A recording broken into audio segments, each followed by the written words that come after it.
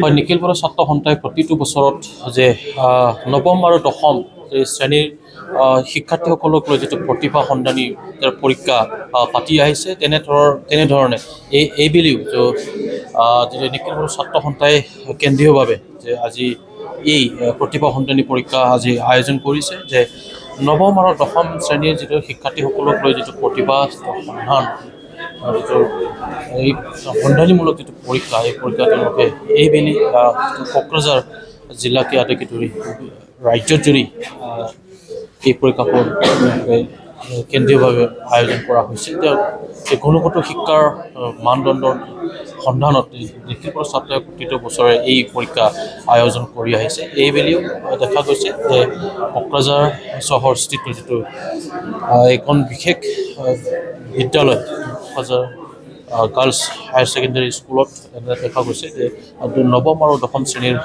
শিক্ষাৰ্থীসকলে এই পৰীক্ষাত অৱতীৰ্ণ হৈছে। মই পোনে পোনে ইয়াতে যিটো নিখিল বড়ো ছাত্ৰ সন্থাৰ এগৰাকী শিক্ষা সম্পাদক আছে আমাৰ সৈতে তেওঁলোকৰ পৰা মই কিছু কথা জানিবলৈ যত্ন কৰিম যে এই বুলিও যে বিগত বছৰৰ দৰে আপোনালোকে যিটো এই পৰীক্ষা প্ৰতিভা সন্ধানী পৰীক্ষা যিটো আয়োজন কৰিছে কিমান শিক্ষাৰ্থীসকলে বহিছে অৱতীৰ্ণ কৰিছে এই পৰীক্ষাত?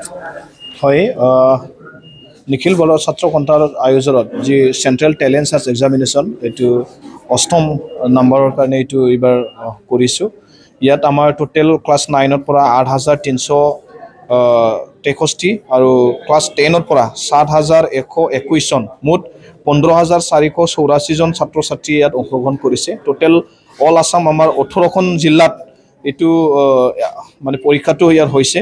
প্ৰায় চেণ্টাৰ হিচাপত আমাৰ এশ চৌ এশ ওৱান ছিক্সটি ফ'ৰ এক্সাম চেণ্টাৰত হৈছে। এইটো ষ্টুডেণ্ট ছাত্ৰ ছাত্ৰীক মই সকলো ছাত্ৰ ছাত্ৰীক মই বেষ্ট উইচেছ যাচিছে যাতে এক্সামিনেশ্যনত এই পৰীক্ষাত যাতে ভালকৈ যাতে ছাত্ৰ ছাত্ৰীয়ে দিব লাগে মই শুভেচ্ছা জনাইছোঁ। আৰু নিখিল বড়ো ছাত্ৰ সন্থাই ষ্টুডেণ্টবিলাকৰ কম্পিটিটিভ যি টেলেণ্ট বা কম্পিটিটিভ যি মাইণ্ডত ডেভেলপ কৰিবলৈ কাৰণে এই পৰীক্ষাটো আমি এইবাৰ বহু বছৰৰ পৰা কৰি আহিছে। এইবাৰ হয়তো টু থাউজেণ্ড চৈধ্যৰ পৰা এইটো ষ্টাৰ্ট কৰিছিলে আৰু এইবাৰ অষ্টম নম্বৰৰ কাৰণে এইটো এক্সামিনেশ্যনটো হৈছে। ফলাফল কেতিয়া ঘোষণা কৰা হ'ব? হয় পৰীক্ষাৰ ফলাফলটো আমি এতিয়া ডেট দিছোঁ দুই জানুৱাৰীত আমি দিয়াৰ এইটো তেতিয়া এতিয়া মানে ডিক্লেয়াৰ কৰিছোঁ দুই জানুৱাৰীত আমি চাওঁ যদি কিমানখিনি পাৰে। কিন্তু আমাৰ এতিয়ালৈকে আমাৰ যি ডেট এইটো দুই জানুৱাৰীত হ'ব। এই পৰীক্ষাত উত্তীৰ্ণ হোৱাসকলক আপোনালোকে বঁটা সম্বৰ্ধনা কৰিব লাগিব হয় আমি এনে প্ৰতি বছৰতে আমি এইটো কৰোঁ আমি টপ থ্ৰী চিলেকশ্যন কৰোঁ ফাৰ্ষ্ট ছেকেণ্ড তাত নাইনত তিনিজন আৰু টেনত তিনিজন। তো প্ৰথম প্ৰথম যোনে লাভ কৰে আমি বিছ হাজাৰ টকা দিয়ে তাৰ লগত চাইটেশ্যন এখন আৰু আমি এখন চাইটেশ্যনৰ লগত আৰণাইৰে আমি সম্বৰ্ধনা জনাওঁ। ছেকেণ্ডত আমি পোন্ধৰ হাজাৰ আৰু থাৰ্ডত আমি দহ হাজাৰ। আমি এই তিনিজন ছাত্ৰ ছাত্ৰীগৰাকী আমি দিওঁ। লগতে আমি এইবাৰ নতুনকৈ দিব বিচাৰিছোঁ এই তিনিজন নোপোৱাৰো তাৰ তলত টপ ফাইভ আমি চিলেক্ট কৰি পেলাই তেখেতসকলক আমি ওৱান টাইম মানে স্কলাৰশ্বিপ হিচাপত টু দুই হাজাৰকৈ আমি দিবলৈ কাৰণে আমি বিচাৰিছোঁ। লগতে এখন চাইটেশ্যন এখন দি পেলাই আমি এইটো সম্বোধনা জনাব। মূল লক্ষ্যটো কি?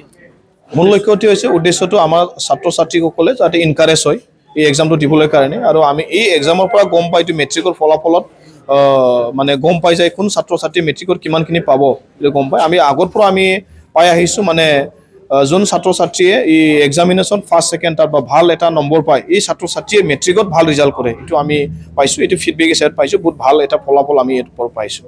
নিশ্চয় নিশ্চয়। এই এয়া হৈছে যে কেন্দ্ৰীয় যিটো নিখিল বড়ো ছাত্ৰ সন্থাৰ যিটো শিক্ষা সম্পাদক আছিলে তেওঁ ইতিমধ্যে কৈছে যে মেট্ৰিক বিশেষকৈ মেট্ৰিক পৰীক্ষাত যিটো যিসকল শিক্ষাৰ্থীসকলে যিটো অৱতীৰ্ণ হ'ব বাবে এই পৰীক্ষামূলকভাৱে যিটো প্ৰতিভা সন্ধান যিটো পৰীক্ষা আয়োজন কৰি আহিছে মুঠৰ ওপৰত যে সম- ইয়াৰ সম্পাদকে যে বিভিন্ন যিটো প্ৰতিযোগিতামূলক যিটো পৰীক্ষাত এনেকৈ তেওঁলোকে যাতে শিক্ষাৰ্থীসকলে বহি যে অৱতীৰ্ণ হ'ব তাৰ বাবে এই পৰীক্ষাখন তেওঁলোকে আয়োজন কৰি অহা হয় বুলি নিখিল বড়ো ছাত্ৰ সন্থাৰ শিক্ষা সম্পাদক গৰাকী ইতিমধ্যে কৈছে যে পৰৱৰ্তী সময়তো তেওঁলোকে এই পৰীক্ষা আয়োজন কৰি যাব বুলি ইতিমধ্যে তেওঁ জনাইছে। যে মই সহযোগী দানচৰাম বসুমতাৰ সৈতে মই Raghuram Bargari N K T V plus